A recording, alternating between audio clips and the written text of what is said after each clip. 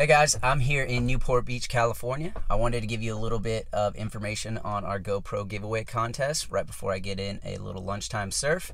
So, first place is going to get a brand new GoPro Hero 5 Black, a Action Sports Pole Pro Edition, and an Action Sports Pole Elite Edition, as well as a GoPro Floaty Backdoor. Second place is going to get both the Action Sports Pro and Elite Edition. And third place is going to get their choice between a Pro Edition or an Elite Edition. So to enter, we have a link in our bio on Instagram, or you can go directly to actionsportscollective.com and enter there.